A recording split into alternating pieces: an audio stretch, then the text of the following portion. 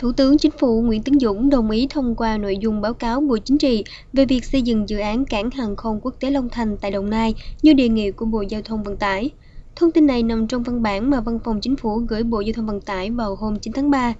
Thủ tướng sẽ kiến nghị Bộ Chính trị đồng ý về chủ trương đầu tư và quyết định đầu tư giai đoạn 1 của dự án sân bay Long Thành, đồng thời giao Ban Cán sự Đảng Chính phủ tiếp tục chỉ đạo thực hiện dự án. Thủ tướng cũng giao Ban Cán sự Đảng Bộ Giao thông Vận tải thay mặt Ban Cán sự Đảng Chính phủ báo cáo Bộ Chính trị xem xét quyết định về việc đầu tư dự án này trong thời gian tới.